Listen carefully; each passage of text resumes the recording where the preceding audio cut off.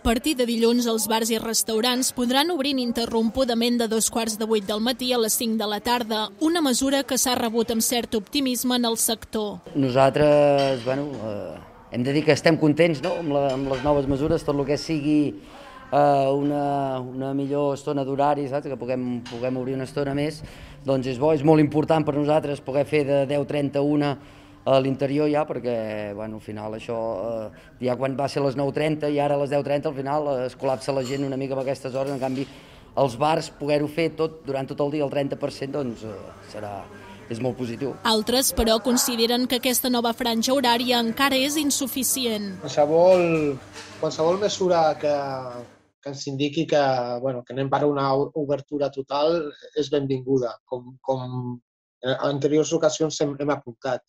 El que sí que és veritat és que és, que és, que és insuficient, no? Les condicions actuals amb la mobilitat restringida en l'àmbit comarcal han fet que alguns, de moment, no es plantegin obrir.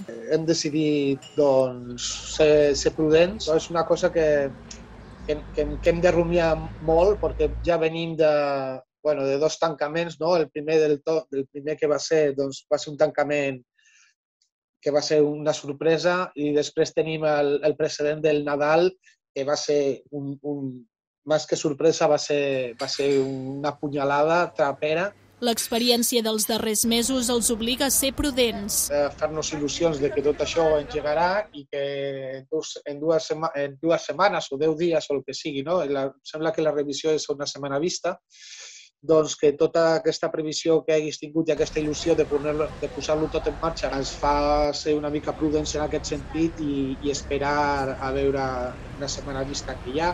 Es mostren optimistes, però alhora es prenen les noves mesures amb precaució a l'espera de poder tornar a oferir sopars quan la situació epidemiològica ho permeti.